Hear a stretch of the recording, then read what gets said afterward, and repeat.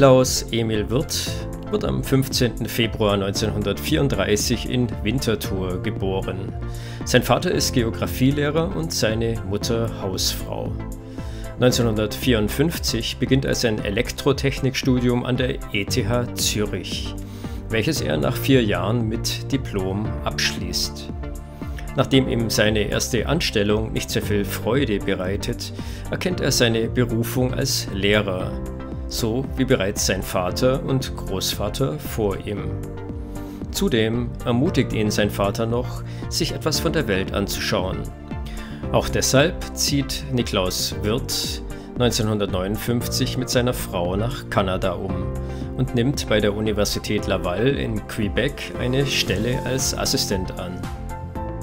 Dort kommt er bei einer Vorlesung von Professor Goodspeed zum ersten Mal mit einem Röhrenrechner in Berührung, welcher zu seinem Leidwesen so gut wie nie funktioniert.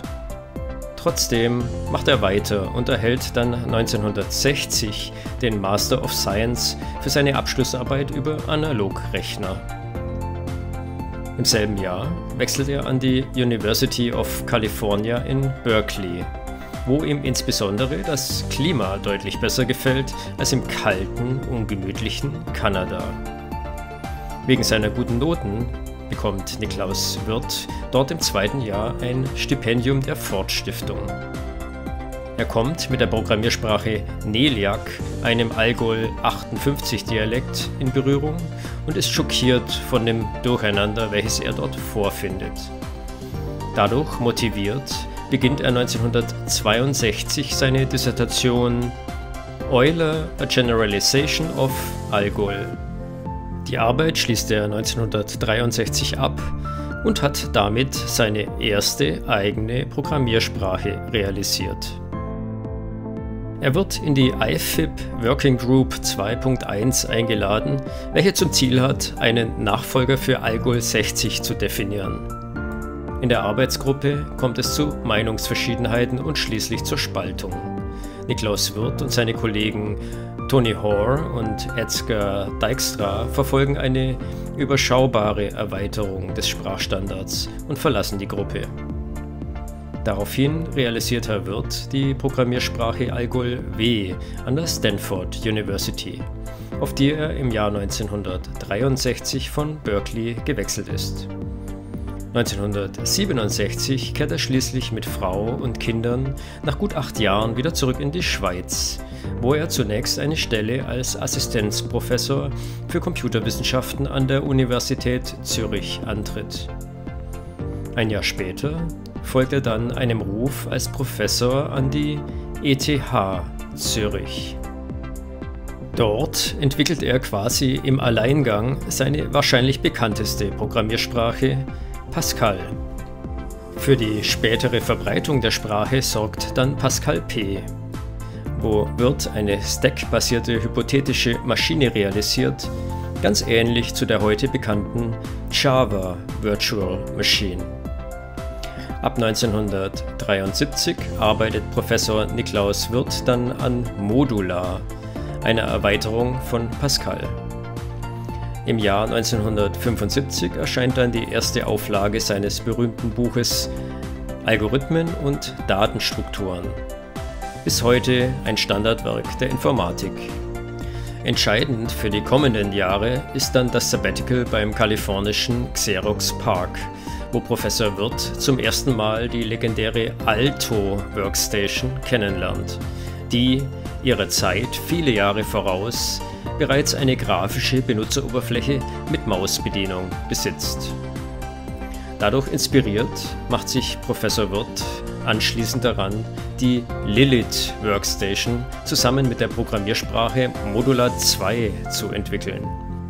In den Folgejahren wird dem Lilith-System noch das erste Computernetzwerk der Schweiz und eine Laserdruckeranbindung hinzugefügt. 1983 erscheint von der Firma Borland Turbo Pascal, das zusammen mit einem dicken Handbuch gerade mal 50 Dollar kostet und der Programmiersprache Pascal zum endgültigen Durchbruch verhilft. Ein Jahr darauf erhält Niklaus Wirth den renommierten Turing Award für seine Arbeiten an Programmiersprachen. Im selben Jahr geht er dann ein zweites Mal auf Sabbatical zu Xerox PARC, wo er unter anderem das neue Betriebssystem CEDAR kennenlernt. Anschließend entwickelt Professor Wirth dann mit der Ceres Workstation den Nachfolger von Lilith. Durch die Erfahrungen bei Xerox inspiriert, wird dazu noch das Oberon-System entworfen. Komplett mit Programmiersprache, Betriebssystem, grafischer Benutzeroberfläche und Anwendungsprogrammen. Damit hat er fast das gesamte System selbst entwickelt. Nur die CPU fehlt noch. Diesen letzten Schritt holt er schließlich in den 1990er Jahren nach und definiert seinen eigenen RISC-Prozessor, welchen er dann mit Hilfe von FPGAs realisiert.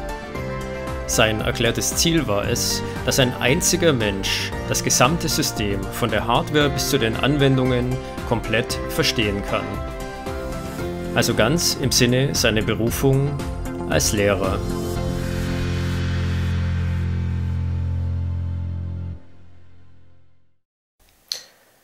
Grüß Gott, Herr Wirth. Grüß Gott, Herr Olzhey. Schön, dass Sie da sind. Es freut mich wirklich sehr, dass es geklappt hat und dass Sie sich noch äh, die Zeit genommen haben für mich. Ich habe mich die letzten Wochen sehr intensiv mit Ihrem Lebenslauf befasst und auch mit der Schweiz allgemein, Informatik Aha. Schweiz. Schon in der Kindheit habe ich gelesen, waren Sie fasziniert von Technik. Ja, das stimmt. Wie hat sich das geäußert? Ja, vor allem, dass ich äh, als Einzelkind äh, immer beschäftigt war zu Hause. Äh, am Haus sind vier Bahnlinien vorbeigefahren, da kannte ich praktisch jeden Zug. Dann habe ich auch Züge gezeichnet mit Vorliebe. Ach. Das war meine große Beschäftigung. Ich wollte Lokomotivführer werden. Und äh, dann habe ich gelesen, wollten Sie Pilot werden. Haben Sie sich nochmal anders überlegt? ja, ja. Ja, ich bin dann in den Kreis der Modellflugbauer gerückt durch Kollegen mhm. und habe mich sehr intensiv beschäftigt mit Modellflugzeugen. Und damit einherging natürlich der Wunsch, Pilot zu werden. Es ist ja ziemlich viel passiert ja, in der ja. Zeit, wo Sie groß geworden sind ja, und auch Ihre Jugend hatte. Das war ja für die Informatik eine sehr stürmische Zeit. Zum Beispiel 1936. Ähm, da waren Sie zwei Jahre alt, haben Sie natürlich nicht mitbekommen. Nein. Äh, Alan Turing, der also sein Paper da on Computable Numbers veröffentlicht hat und die Turing-Maschine beschrieben hat. Ja. Das haben Sie, haben Sie das Paper mal gelesen? Nein. Nie gelesen? Ich muss ganz offen sagen, ohne die Turing-Maschine bin ich sehr gut durchs Leben gekommen. Ah, okay. Das ist wirklich nichts Praktisches, sondern eigentlich ein Gedankenexperiment, mhm. um das Phänomen Berechenbarkeit zu definieren. Mhm. Aber von Nützlichkeit reden wir lieber nicht. Mhm. Also zu, äh, für Sie ein Stück weit zu theoretisch gewesen. Sie waren eher so die praktische ja, ja, Seite. Ja, ja Turing-Maschine habe ich erst kennengelernt oder den Begriff kennengelernt später im Studium. Mhm. Im Studium schon? Also Sie haben ja Elektrotechnik studiert. Ja, ich, ja gut, also nach dem Studium an der ETH in Elektrotechnik bin ich ja dann ausgewandert mit einem Auswanderungsvisum. Ja, ja. Und dort habe ich dann weiter studiert und, und dort bin ich damit zusammengekommen. Also in Kalifornien haben Sie das dann ja. in Berkeley oder so oder in Stanford. Ja. Mhm. Also ich fand's, ich habe mich auch, ich habe versucht mal dieses Paper zu lesen, es ist nicht einfach zu lesen, fand ich. Also ich habe nur die ersten Seiten wirklich verstanden. Ja, ja. Ähm, aber ich fand es also insofern halt schon irgendwie faszinierend, dass man mit so wenigen Elementen die komplette Berechenbarkeit erreichen kann. Ja, das war der Witz der Geschichte, ja, ja. ja. ja. Also das fand ich einfach beeindruckend, so eine einfache ja, Maschine, absolut. Dass, dass man damit alles berechnen kann, was irgendein Computer berechnet. Alles kann. und praktisch nichts. Und praktisch nichts, ja. Das stimmt, ja, das war die pure Theorie. Mhm. Ja, und was auch noch war, in der Anfangszeit, da waren Sie acht, oh, so von acht bis elf Jahre alt, da hat Konrad Zuse sein Plankalkül entworfen. Mhm. Haben Sie da mal was drüber gelesen? Ja, gelesen einmal, ja. Das war noch während des Weltkriegs. Hm, ja. ja. Das war 42, hat er damit angefangen. Ja. Weil, weil sie sich ja mit Programmiersprachen vor allem befasst haben, dachte ich halt, was gibt es alles an Programmiersprachen? Und das war wohl mit halt eben eine der ersten, dieses Plankalkül. Ja. ja, das ist richtig. Aber es ist schwer zu vergleichen mit den moderneren Sprachen. Ja, ja. Wir hatten ja an der ETH in Zürich eine Zuse-Maschine. Genau, die Z4. Ja, mhm. ja.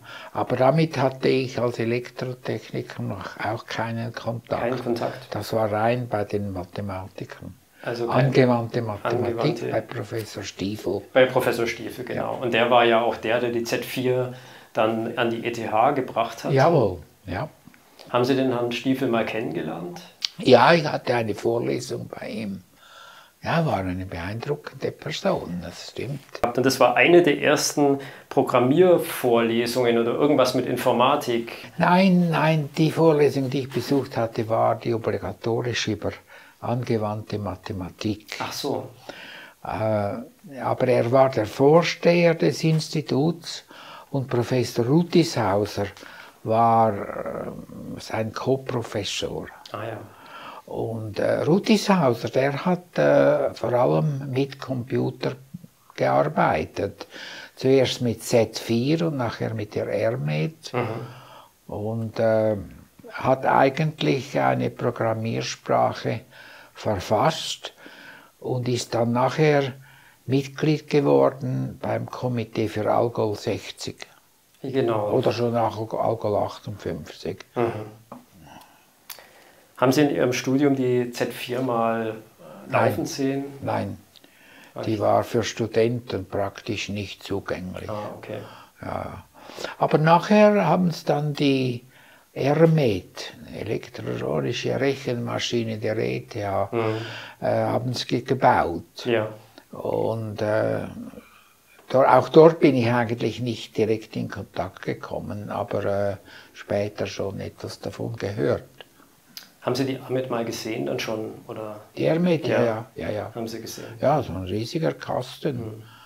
ein halbes Zimmer voll. Mit Elektronenröhren war das, ne? Eine Röhren ja, und eine Trammaschine. Mit Trommel. Also hat eine Magnettrommel gehabt als Speicher. Mhm. Ja. ja, das war dann also der erste Computer, der in der Schweiz gebaut wurde, die ja. ERMIT. Und ja, ich habe gelesen, Ihr Studium da an der ETH Zürich, Sie waren zum Teil nicht so ganz begeistert vom Studium, weil äh, irgendwie die Inhalte Sie nicht so interessiert haben. Ja, äh, ja, das stimmt. Das war eigentlich eher enttäuschend. Mhm. Und das meiste, was ich gelernt habe, habe ich zu Hause gelernt. Mhm. Ich war, wie schon vorher bei den Modellbauern, war ich jetzt ein begeisterter Bastler in Elektronik. Mhm. Ich habe zu Hause äh, Radios, Sender gebaut, ich habe sogar zwei Fernseher gebaut, nicht nach Baukasten, sondern nach eigenen Plänen und Messinstrumente und so weiter. Es war sehr intensiv. Mhm. Und das hat man an der Uni nicht so gelernt, sondern also Nein, eigentlich überhaupt nicht. Mhm. Und überhaupt Elektrotechnik kam erst zur Sprache in den obersten drei Semestern. Mhm viel zu spät. Heute ist es schon anders. Hatten Sie in der Zeit irgendwie schon eine Idee, dass, dass Sie irgendwann mal was mit Computern machen werden? Ja, das wusste ich nicht so konkret, aber äh, Computer hatten mich fasziniert. Und die erste Vorlesung über Computer besuchte ich bereits im zweiten Semester bei dem Professor Speiser. Das war das, ja. genau, der Professor ja. Speiser. Ja. Der wurde nachher Direktor des IBM-Forschungslabors. Das war wahrscheinlich weltweit einer der ersten Vorlesungen, die irgendwas mit Computern zu tun hatten. Richtig, ja. Aber es war natürlich eine fakultative Vorlesung und es war auch noch alles recht primitiv. Man hat zwar gelernt, wie ein Flip-Flop funktioniert und ein Speicherelement, Aber wie ein gesamter Computer funktioniert, das war dort noch nicht, noch nicht. erwähnt. Aha. Das heißt, das war so eine Grundlagenvorlesung, wie ja. die Einzelelemente ja. von einem Computer funktionieren. Ja, ja, genau. Mhm. Hat Ihnen die Vorlesung gefallen? Fanden ja. Sie das interessant? Ja, ja, das war schon eine Abwechslung von den Pflichtvorlesungen. Mhm. Und wie war der Herr Speiser als Dozent? War er, er ein guter? Ja, wie auch sonst, sehr äh, meticulous, wie sagen wir das auf Deutsch, also sehr im Detail, sehr ah. präzise, mhm. sehr exakt. Mhm. Ja, ja, er hat auch seine Vorlesungen immer sehr gut vorbereitet. Ja. Ein Perfektionist. Ja, Perfektion, ja. Mhm. Genau, weil es ist ja, also neben dem Herrn Stiefel und dem Herrn Rutishauser war er ja auch einer der ersten drei sagen wir mal, für die Schweiz wirklich wichtigen Leute, die sich mit Computer befasst haben? Ja, ich habe ja die ERMED erwähnt ja. und das war im Wesentlichen unter seiner Leitung. 1959 haben Sie Ihr Diplom gemacht als Elektroingenieur, ja. da waren Sie 25. Ja. Und dann ähm, hatten Sie ja einen Monat mal versucht, da als Elektroingenieur irgendwie zu arbeiten, was Ihnen dann aber wohl nicht gefallen ja, hat. Ja, ja, das ist kaum der Rede wert. War kein der Rede ich bin nach einem Monat bin ich rausgezogen. Ja. Und dann kam mir eben die Gelegenheit, äh, auszuwandern nach Kanada. Wo Sie dann irgendwie vier Tage nach der Hochzeit äh, mit Ihrer Frau dann ausgewandert sind. Ja. Wie sind Sie auf Kanada gekommen? Ja, die Idee war eigentlich USA. Ja. Aber damals hat der Vietnamkrieg getobt Ach, und ich wollte nicht mich der Gefahr aussetzen, eingezogen zu werden. Ach, als Ausländer hat man da tatsächlich. Ja, ja. mit der Green Card war man auswählbar. Ah, okay. Nach 16 Monaten bin ich in Kanada wieder ausgezogen. Ja. Und dann nach Berkeley geflogen. Es war ohnehin mein lang gehegter Wunsch, mal nach Kalifornien zu gelangen. Und äh, diese Uni hat mich dann als Assistent akzeptiert und habe gedacht, ich probiere es mal. Warum Aber, wollten Sie nach Kalifornien? Was hat Sie da gereizt? Ja, das Klima.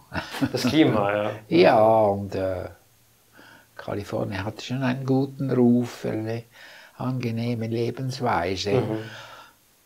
Nein, nein, das war, das war fantastisch, gerade auch nach Kanada, diese Offenheit, die weißen Häuser, die viele Sonne, das war fantastisch. In Kanada war es ein bisschen kalt, ne? Sehr kalt, ja. Also nicht immer, aber im Winter lange. Und da hatten Sie in Kanada, in Quebec, es war die Universität Laval, da hatten Sie ja dann irgendwie den ersten Kontakt zu Computern auch, oder? Ja, das war eine Vorlesung in numerischem Rechnen. Und da war ein, ein, ein einer der ersten Röhrencomputer war dort ein, äh, eingesetzt. Aber jedes Mal, wenn wir irgendeine Übung fertig gemacht hatten und probieren wollten am Computer, dann waren die Techniker dort und der war, Computer is down, hieß es. Also die Zuverlässigkeit oder respektive die Unzuverlässigkeit der Rechner von damals, die kann man sich heute gar nicht mehr vorstellen. Mhm. Ja, da habe ich auch äh, ein, ein äh, Zitat von Ihnen. I cannot explain how I kept up my interest in computing. Haben Sie mal in einem Interview, ja. glaube ich, oder in einem ja, ja, Artikel geschrieben. waren viele, viele entmutigende Augenblicke, ja. Aber trotzdem sind Sie dabei geblieben irgendwie. Offenbar, ja. ja.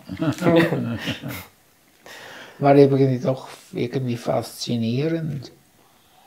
Und vor allem hat man gesehen, dass da noch viel Potenzial dahinter liegt. Haben Sie sich das damals schon so vorgestellt, dass es dann irgendwann so schön wird, wie wo Sie dann später beim Alto gesehen haben zum Beispiel, mit der schönen grafischen Benutzeroberfläche mit einer Maus, wo man ordentlich... Nee, das hat man sich schon nicht vorgestellt, nicht jedenfalls ich nicht. Nein. Nein, die, die Rechner haben damals ausschließlich gerechnet. Die waren nicht als Datenspeicher und Telefone und weiß der Teufel was einsessbar, sondern waren wirklich Rechner. Hm. Das heißt, man hat noch nicht so die Idee gehabt, wo das hingeht, aber Sie hatten so das Gefühl, dass daraus was wird. Ja, das schon, ja, hm. ja, ja, ja. Genau, und dann hatten Sie ja, weil Sie gute Noten hatten, ein Stipendium bekommen. Da war ich mindestens ein Jahr in Berkeley. Mhm. Das war ja die harte Enttäuschung, nicht wahr, dass man äh, erfahren musste, man muss jetzt noch äh, ein Preliminary Exam bestehen und nachher ein Qualifying Exam und so fort. Und äh, da hat es Kollegen gehabt, die haben bereits ein, zwei Jahre daraufhin gekrüppelt und das, das passte mir gar nicht. Ich habe mich dann einfach sofort angemeldet und habe es glücklicherweise bestanden. Das ähm, für das Stipendium oder für. Nein, nein, einfach fürs Weiterkommen. Fürs Weiterkommen in Berkeley? Aber dadurch, dass ich das äh, mhm. gut bestanden hatte, habe ich dann ein Stipendiumzugang mhm. erhalten. Also das ja. war irgendwie mühsam, durch die Prüfungen da irgendwie sich zu... Ja, das war hart. Also ja. ich erinnere mich immer, eine dieser Prüfungen war allein äh, vor fünf Professoren gibt es heute doch nicht mehr. Nein, es war ziemlich hart und ja. ich, ich war eigentlich sicher, dass ich durchgefallen war. Hat man dadurch vielleicht so seinen Ruf als Elite-Universität ein bisschen festigen wollen? Oder was war der Grund, dass das so hart war? Also hat man dann auch viele Leute durchfallen lassen? Oder? Ja, ja. Von den 24 Anwärtern sind sechs durchgekommen. Ah. Ja.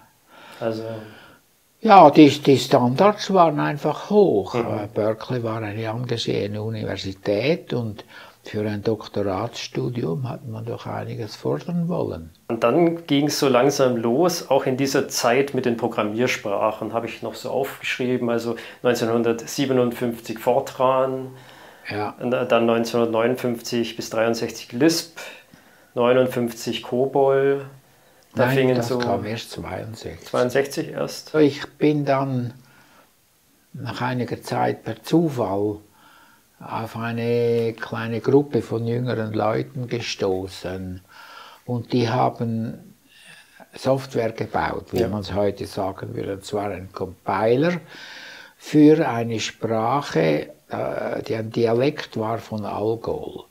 Algol war eigentlich die erste Sprache, die man auch wissenschaftlich äh, begreifen konnte, die klar definiert war oder wo Unklarheiten klar definiert waren. äh, und das war sehr faszinierend. Das war der Anfang der Compilertechnik. Ja. Das hat mich schon begeistert. Von dort an wurde ich eigentlich ein Softwaremensch. Das war dann die Begegnung mit diesem Neliak, richtig? Das war die Sprache Neliak, dieser, dieser Algol-Dialekt, ja. ja. Das war ein Dialekt von Algol 60 oder 58? 58. 58 damals noch. Der Compiler war natürlich ein riesiges Durcheinander. Genau.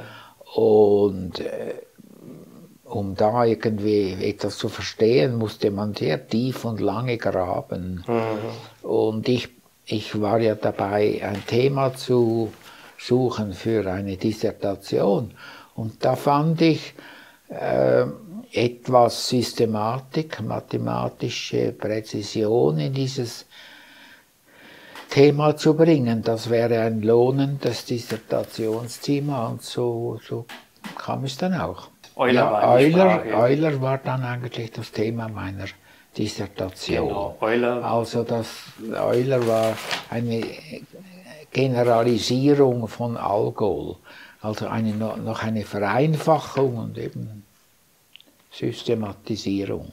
Aber das war, das war typisch äh, ein akademisches Projekt. Das war zu, zu theoretisch gewisse Dinge, die in der Praxis einfach wichtig sind, wurden dort leider ignoriert. Lag das an Ihrem Doktorvater oder lag das auch ein bisschen an Ihnen? Ja, an beiden wahrscheinlich, ja, ja. Eine Dissertation muss ja auch nicht ein potenzielles Produkt ja. Äh, abwerfen, mhm. sondern Ideen, mhm. die vielleicht dann dazu führen können. Und ja. so war das dann auch. Und da hatten Sie ja zum ersten Mal so ähm, diese Neigung zum Aufräumen ausgelebt, also zumindest ja. vorher nicht. Ja, das waren typische Software-Concoctions. Also Da hat man einfach drauf losgewurschtelt, bis es funktioniert. Und dann, dann hat es irgendwann funktioniert und keiner wusste so recht, warum eigentlich, aber genau. man war froh, dass ja. es läuft. Ja. Ist immer noch so in der heutigen Softwareentwicklung. Ja, ja, es ist immer noch so. Aber äh, ja, ja, eindeutig, es ist immer noch so. Aber es hat schon, schon gebessert. Wissen Sie, die, die Systeme von heute sind auch noch viel komplexer geworden. Ja, ja. Aber äh, zu tun gibt es immer noch ja, ja. in dieser Sparte. Hat Ihnen das Freude bereitet, dieses Aufräumen und Klarmachen? Ja, ja, doch, doch. Ich habe dann Dinge zustande gebracht mit viel weniger Aufwand. Ihr Professor hieß Harry Husky. Und war das in der Zeit? Ja, also bei, bei Husky war ich offiziell Assistent. Und der war ein Computerpionier und hat den Bendix G15 erfunden mhm. nach seinem Besuch in Cambridge. Und dort habe ich auch programmiert, aber das ist eine furchtbare Maschine. Ja. Aber es hat mich äh, für das Gebiet doch irgendwie interessiert und begeistert. Aber an Software und Compiler zu denken, war unmöglich Nicht. dort. Nein. Und Ihr Euler-Projekt dann schließlich, das haben Sie auf einer IBM 704 gemacht. Großrechner. Ja, äh, ja, richtig. Und nachher bin ich ja dann nach Stanford gekommen mhm. und konnte glücklicherweise dieses Projekt weiter verfolgen. Das Compiler-Projekt. Ja. Mhm. Compiler und Euler. Mhm. Und äh, dort habe ich dann auf einer Burroughs 5000 ah. arbeiten können. Das war sozusagen eine Algol-Maschine. Also eine Idealmaschine in gewisser Hinsicht. Mhm. Ja. Da gab es dann schon einen Algol-Compiler darauf. Jawohl, ja, sogar Extended Algol. Mhm. Ja. Extended. Das war noch Algol 58 oder schon 60 dann? Nein, 60. War schon 60. Ja, ja. Ich glaube, Algol 58 hatte ein paar ähm, ja, Unschönheiten und Algol 60 waren dann die meisten Leute und Sie, glaube ich, auch recht zufrieden mit Algol 60, was Sie da definiert hatten als ja, Sprachstandard. Ja. ja, es war für die akademische Welt die erste zugängliche Sprache, die mhm. klar definiert war. Also das wurde Algol 60 wurde definiert durch ein Komitee, nicht ein Konsortium, ein Ach, Komitee okay. von, glaube ich, 13 Wissenschaftlern aus Amerika und Europa. Mhm. Ja. Aber eben auf freiwilliger Basis. Und äh, das Implementieren, das wurde dann den einzelnen Leuten überlassen. Mhm. Und da war zum Beispiel der Dijkstra einer der ersten, der erfolgreich war. Ja. Der hat einen Compiler geschrieben für Algol 60. Ja, der erste, der das ganze Algol 60 ah. bearbeitet hat. Also inklusive rekursive Prozeduren. Mit Algol 60 gab es auch zum ersten Mal Blöcke, glaube ich. Kann das ja, das Konzept der Lokalität von Variablen. Ja, ja, Algol 60 war eben in verschiedener Hinsicht innovativ. Ja. Und Sie haben das ja bei Ihren Weiterentwicklungen dann so als Basis eigentlich genommen. Ja. Und das hat man auch an der Syntax gemerkt, das Beginn und End zum Jawohl. Beispiel. Ja, ja. ja haben ja. Sie übernommen. Ja, ja. Also ich habe ja in meiner, in meiner Arbeit meistens mit C programmiert und ich weiß, Sie halten von der Sprache nicht so viel. Ähm, was ich aber da jetzt im Vergleich, wenn ich mir so ein Allgäu-Programm mal anschaue, schöner finde, sind die Klammern zum Beispiel. Das ist irgendwie ja. klarer, finde ich. Ja, ja. Äh, warum hat man bei Allgäu keine Klammern verwendet, sondern dieses Beginn und End? Wissen Sie das? Man wollte die Klammern für die Anweisungen dick machen. Nun hat man keine dicken Klammern auf den Druckern, ah. dann hat man eben solche Worte verwendet. Man wollte Klammern für Ausdrücke verwenden und Beginn, End für mhm. Anweisungen. Weil Sie an diesem Euler gearbeitet hatten, wahrscheinlich nehme ich an, wurden Sie dann in diese Working Group 2.1 berufen. Mhm. Und das war keine so tolle Erfahrung für Sie? Ja, ich habe viel gelernt. Äh, aber es wurde mir dann doch zu viel, weil ich zu jeder Sitzung von Kalifornien nach Europa fliegen musste. Und wenn dann diese 40 Leute zu keiner Einigung kamen, nichts herausschaute, dann hat es mich eher frustriert. Und so habe ich dann einfach selber eine Sprache definiert, die wurde dann Algol W genannt. Mhm. Und wir haben sie in Stanford implementiert auf einer der allerersten IBM 350, 360, 360. 50 mhm. Maschinen. Äh, ja, und die hat sich dann nachher ziemlich verbreitet. Natürlich nur auf IBM-Rechnern, mhm. aber die waren ziemlich verbreitet bei Universitätsrechenzentren. Und dann haben Sie Ihr wohl bekanntestes Projekt eben gemacht, Pascal. Und da hatten Sie dann den Vorteil, dass Sie eben nicht mit einem Gremium zusammengearbeitet haben, sondern mehr oder weniger alles in Ihrem eigenen ja. Kopf definieren konnten, wie ja. Sie es wollten. Ja. Was Sie ja selber als wahrscheinlich großen Vorteil angesehen haben. Jawohl, ja. Dass man das irgendwie klar kriegt. Und was war dann bei Pascal neu im Vergleich zu Algol 60 oder Algol W? Ja, vor allem ähm, viel mehr Anweisungs- und vor allem Datenstrukturen. Mhm. Also bei den Datenstrukturen, da gab es in Algol nur die Arrays. Und äh, ich habe dann die Records eingebaut, aller, aller COBOL. Ach, die Files als mhm. Sequenzen die, die Bitsets hm. äh, und die Characters. Ja, also das ganze Anzahl neue Datentypen, die dann auch kombiniert werden konnten. Und zwar frei und verschachtelt, wie, also allgemein offen. Mhm. Auch bei den Statements gab es mehr ja, ein paar, paar von diesen übertrieben komplizierten Dingen in Algo habe ich dann rausgeschmissen und einfachere Dinge eingeführt, While Statements, Repeat Statements. Wie haben Sie entschieden, was drin sein muss und was rausfliegen darf? Was, wie ist da Ihre Vorgehensweise gewesen? Ja, einfach aufgrund meiner eigenen Erfahrungen im Programmieren. Und natürlich bin ich auch in Kontakt gestanden mit anderen Kollegen.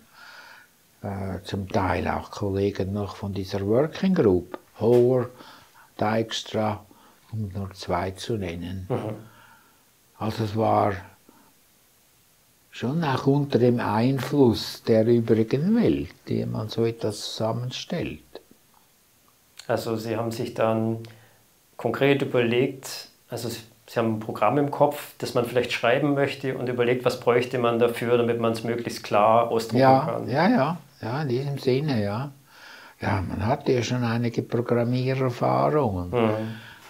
Ich habe dann einfach danach gestrebt, diese Formulierungen klarer und einfacher zu gestalten. Mhm.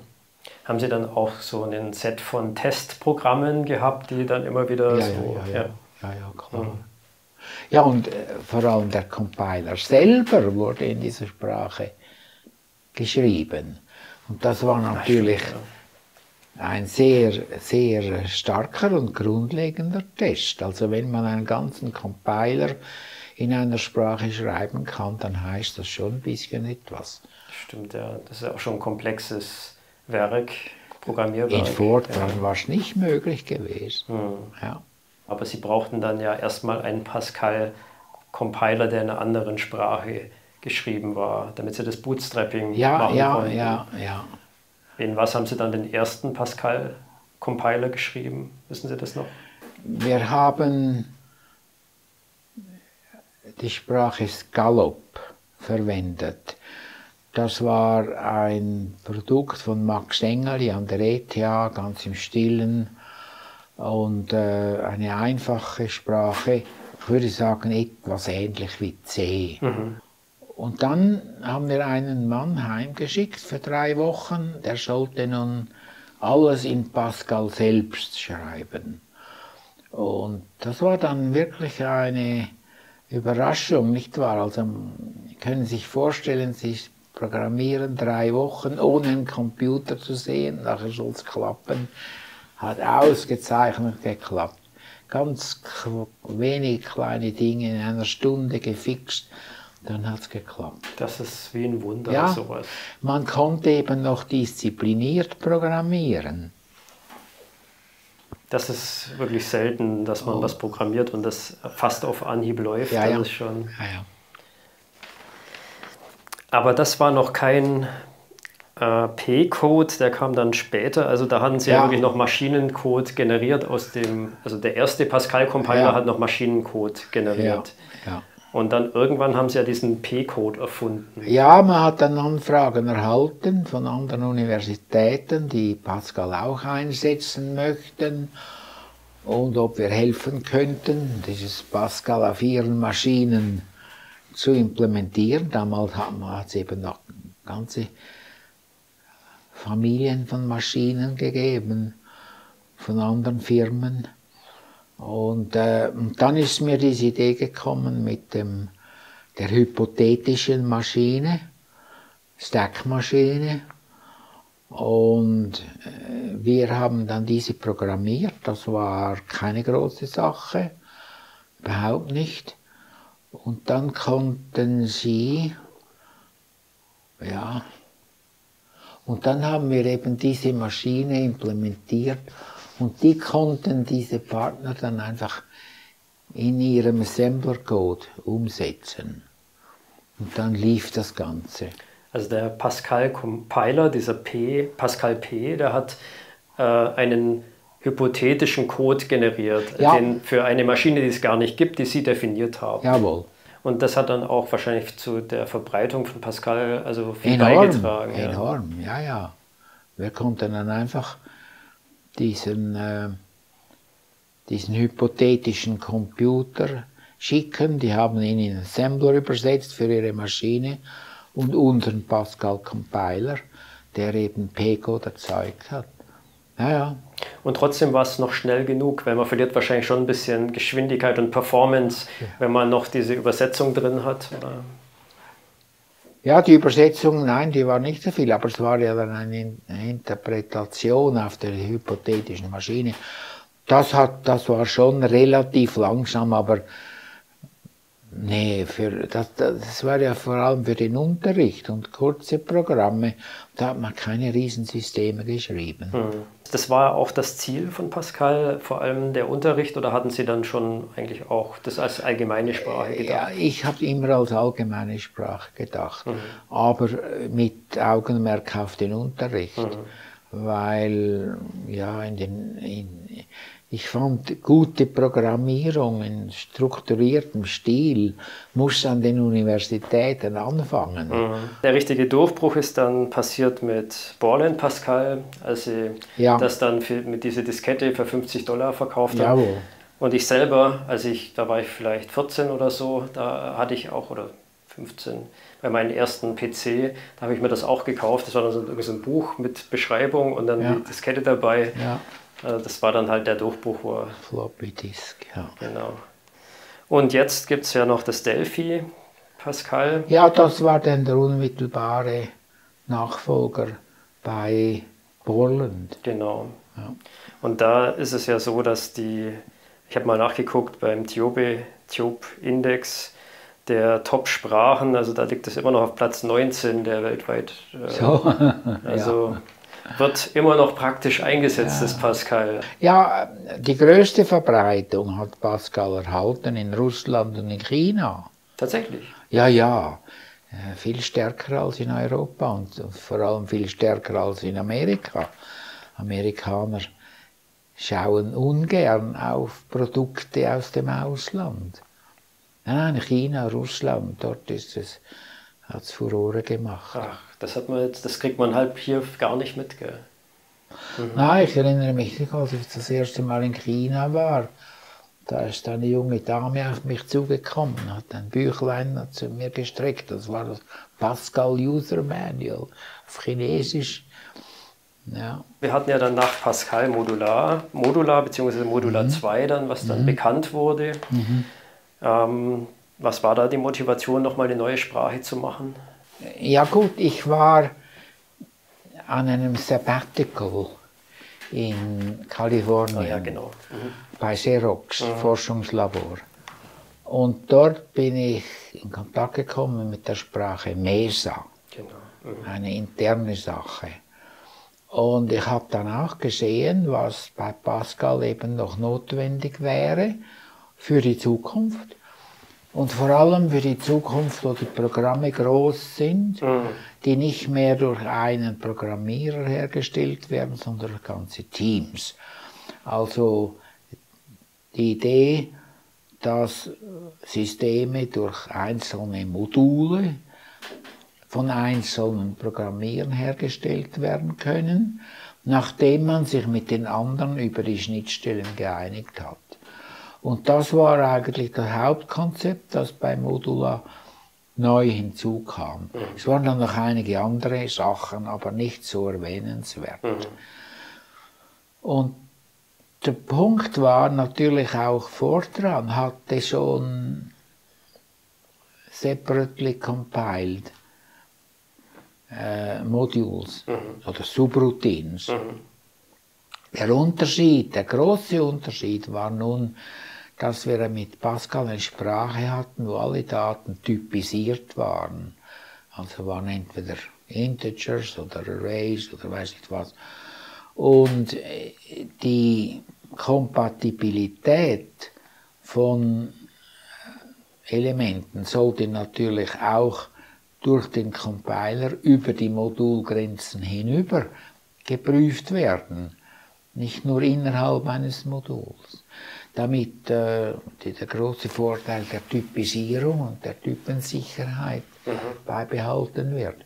Das war eine, eine, eine kni kn knifflige Nuss, wie man sagt. Ja, eine harte Nuss, eine mhm. knifflige Aufgabe. Mhm. Und, aber das gelang und zwar sehr, sehr befriedigend und das ist natürlich das Kernstück von Modula.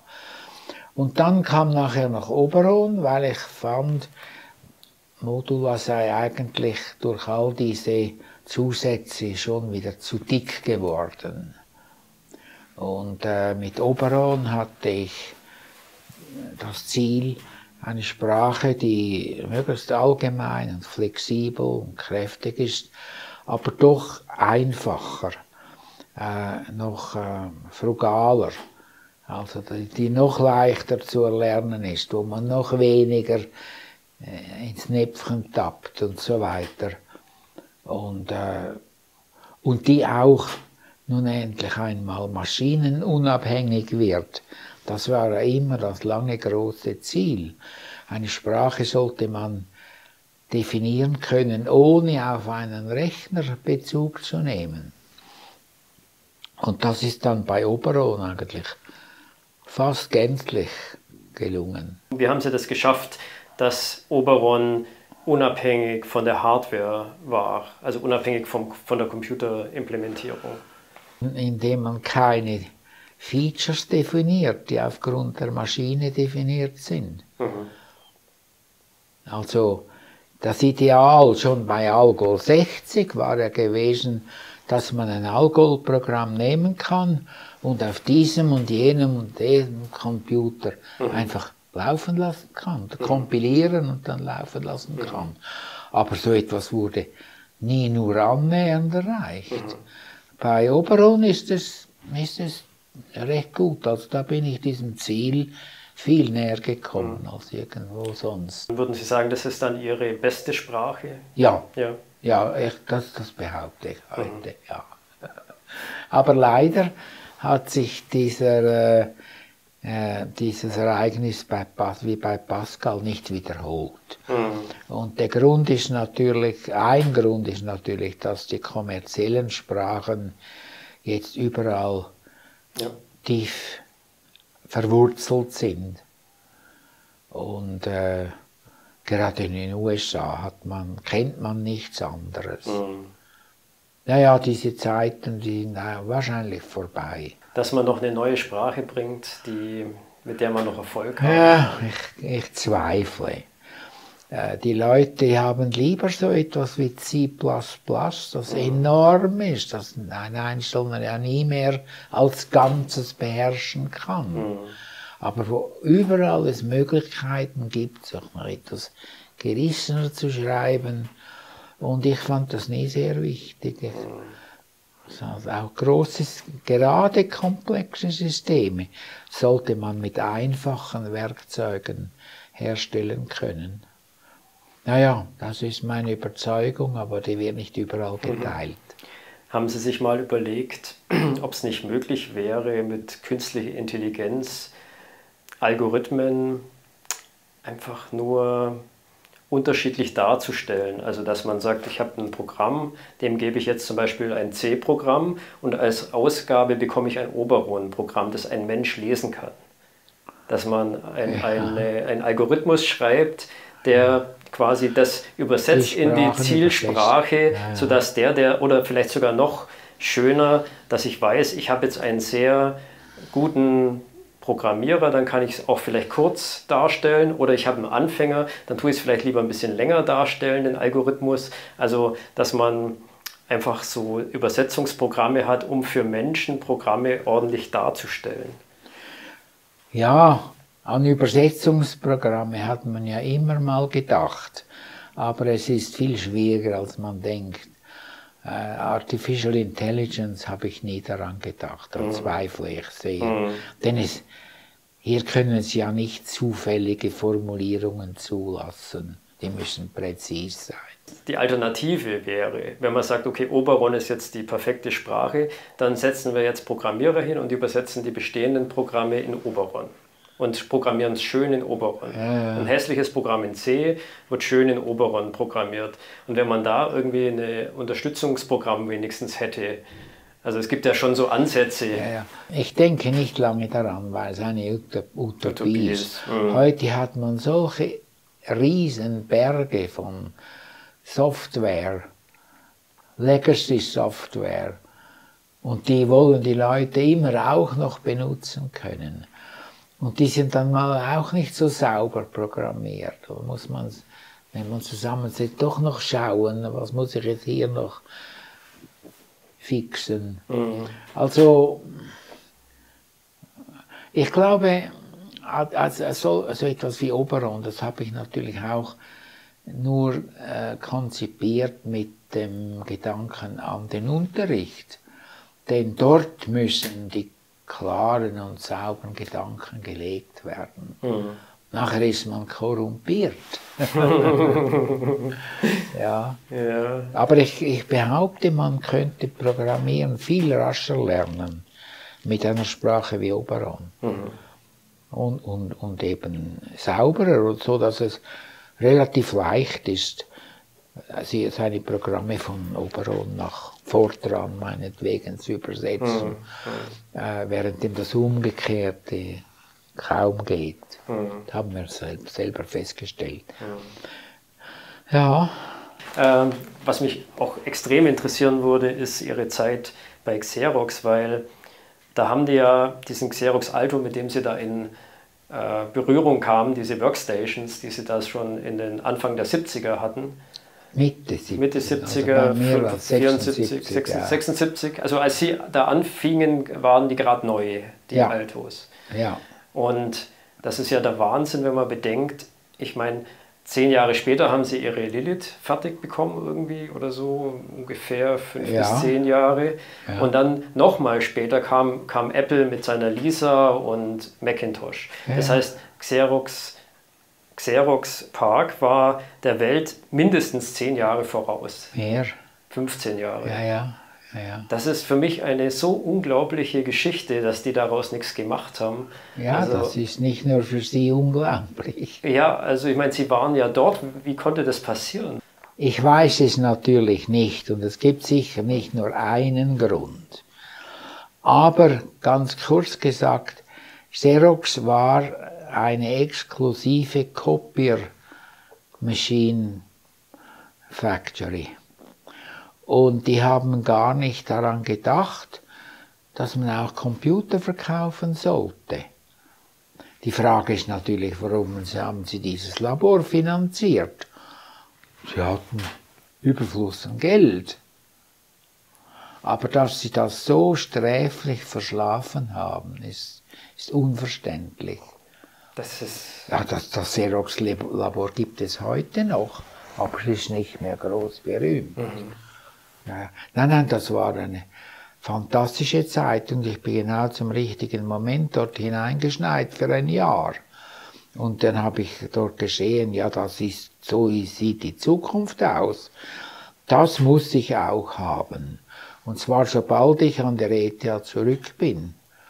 Da haben wir ja nun immer noch den Großcomputer gehabt und die, die Teletypes.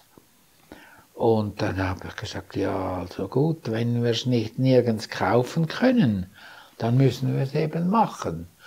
Und das war eine tolle Chance, zum Haufen zu lernen. Ja, das glaube ich. Ich habe natürlich von meinen ehemaligen Kontakten hier drüben auch noch profitiert und habe auch sofort eine neuere Generation von Chips verwendet. Also das war nicht mehr einfach Kopie mhm. des Auto. Und dann noch einige sonstige Ideen, die von Modula herkamen. Und so kam diese Lilly zustande. Ja, ja, die hatte heute auch, heute gesehen auch ihre Fehler. Vor allem war sie noch in dem Gedankengut der hypothetischen Maschinen, der Stack-Maschinen. Das war die Hardware, war ja ein Mikroprozessor mhm. und der wickelte immer dasselbe interpretative Programm ab, das in, in ROM gespeichert war und das dann diesen M-Code, wie wir es Modular-Code, mhm. interpretiert. Mhm. Ja. Und das war dann ja auch mit Fenstern schon, also grafische ja, Benutzeroberfläche. Ja, ja. Das Aber haben Sie alles selber noch nachprogrammiert quasi, ja, äh, das Betriebssystem. Ja, ja. Also das war quasi aus einer Hand sowohl die Hardware designt, als auch das Betriebssystem, also natürlich der Compiler, Modular 2 war das da noch. Das heißt, das gesamte System vom, von der Hardware bis ganz nach oben bis zur Anwendung war halt zusammen, haben Sie mehr oder weniger fertig designt. Dann. Ja, das, darf man wahrscheinlich sagen. Ich hatte ein paar Assistenten und denen habe ich äh, gewisse Aufgaben übertragen, wie zum Beispiel der Bau eines Texteditors. Ach ja. Mhm. Das, aber die Idee kam auch von Xerox mhm. durch mich. Auch die Fonts habe ich mitgenommen. Mhm. Das haben die alles so frei hergegeben? Ja, Forschungslabor. Wahnsinn. Ja, da hat natürlich sowieso nie, nie jemand gedacht, dass so ein junger Schweizer da etwas Nützliches produzieren also, könnte wenn das an einer Universität. oder? Aber äh, ja, es hat sich ja dann auch nicht äh, realisiert. Etwa drei Jahre später kam jemand und hat dann eine Firma aufgebaut. Richtig, ja. Mit dem einen Produkt Lilith. Mhm. Und ich habe immer gedacht, das kann ja nur schief gehen. Und der war sowieso das großköpfig mhm. und hat dann ein Forschungslabor errichtet unterhalb der ETH in der Nähe mhm. mit meinen ehemaligen Doktoranden. Er hat ein Hauptquartier eingerichtet bei sich zu Hause in Wöwe bei Lausanne. So ein Bauernhof? Oder was da? Bitte? War das ein Bauernhof? Irgendwie habe ich mal was ich gelesen. Glaube, ja, ja, ja, ich war nie dort. Mhm. Und eine Produktionsstätte in mhm. Utah. Das ist ja verrückt. Und, äh, und dann natürlich eine ärmliche Vertriebsorganisation mit ein paar Leuten hier und dort. Was der hätte tun müssen, wäre zu IBM gehen und sagen, könntet ihr so etwas übernehmen für den Vertrieb? Ich erinnere mich noch, ich war eingeladen von IBM zu einer Professorentour. Wir waren etwa 40 Professoren aus verschiedensten Ländern. Reise durch USA, verschiedene IBM-Labor, inklusive Boca. Und dort, dort haben sie uns ganz neu diesen neuesten PC gezeigt. Und ich war so enttäuscht. Das war ja ein furchtbares Kästchen. Aber die hatten keine Ahnung von Lilith. Sind Sie da von Xerox Alto zurückgekehrt und haben gesagt, das muss es jetzt sein, ich weiß, ich mache dieses Lilith? Ja, mehr oder weniger schon so. Ja. Und es hat sich dann ergeben, das muss ich jetzt auch noch erwähnen, schon in Palo Alto ist ein junger Assistenzprofessor aus Utah, hat mich angerufen und ist nachher angereist und hat gefragt, könnte ich bei Ihnen studieren, doktorieren in Software. Mhm. Äh, ich bin vor allem mit Hardware tätig und habe einen ganzen VW-Bus voll Zeug mitgebracht. Richtiger Bastler. Mhm. Und äh, das hat mich nicht so furchtbar beeindruckt, aber ich habe dann gedacht, aha, der will von uns Software lernen, also wollen wir von ihm Hardware lernen. Und er ist dann mit seiner Familie nach Zürich gekommen und hat eigentlich die grundlegenden Sachen im Lilith-Projekt gemacht. Also die, die, die Anfänge, ich habe es konzipiert und er hat es dann ausgeführt. Die Hardware-Seite. Aber zum Teil katastrophale Lösungen und mit Holzrahmen. Das habe so ich gesehen, ja, dass man die ersten Liliths waren noch mit Holz. Irgendwie. Ja, ja, das, mhm. das, äh, aber wir haben dann rasch gelernt. Mhm. Ja, ja, so ein kleines Team. Sie waren ja auch nur eine Handvoll Leute. Äh, andere Firmen haben da ja. Tausende von Menschen, ja. die so ein Projekt äh, machen. Ja, ja. Hat natürlich auch einen Vorteil, dass man nicht so viel koordinieren muss und äh, genau. Genau. die Leute kennt und dann. Ja dieser, dieser Mensch, dieser Hardware-Mensch, der, habe ich gelesen, der war ja auch sehr engagiert und begeistert bei dem Projekt. Absolut. Der hat auch auf die anderen Begeisterung ausgelöst. Der hat etwas vom American University Spirit mhm. mitgebracht und unsere Leute infiziert. Ja. Die waren am, am vorher gingen, gingen die Leute immer um fünf oder sechs nach Hause Wochenende war niemand an der ETH. In unserem Team waren alle dort wieder. Er hat diese irgendwie mitgerissen. Auch das Projekt war natürlich verlockend. Man wollte, dass es endlich etwas läuft, endlich mm, etwas zu sehen ist. Mm. Ja, es war eine tolle Zeit. Das glaube ich, ja. ja. Die Lilith war wohl die erste Frau Adams. Ja. Und das ist eine ziemlich äh, schräge Geschichte irgendwie. Wie sind Sie denn da drauf gekommen? Äh, durch ein, den Besuch bei einem Freund in Bern, der Psycho Psychiater war der. Und er hat mich gefragt, weißt du, womit ich mich befasse? Hat er gesagt, jüdische Psychologie. Jüdisch? Oder Mythologie. Mythologie. Ja. Mhm.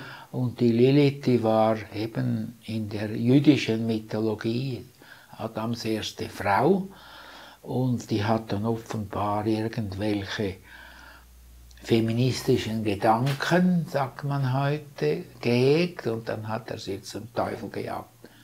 So hat man das gemacht damals. Und äh, dann ist sie jeweils zurückgekommen nachts, um sich zu rächen und sie hat Kinder gestohlen und sie hat Männer verführt. Und zwar eben immer nachts. Und äh, das ist ja dann bei, bei meinen Assistenten passiert. Mein Projekt hat sie verführt, nachts wieder zur Arbeit zu kommen. Das hat es an der ETH ja nicht gegeben vorher. ich habe gedacht, Lilith wäre ein guter Name. ja, dann vielen Dank, Herr Wirth, für das Gespräch. Hat mich sehr gefreut. Bitte schön, hat mich gefreut.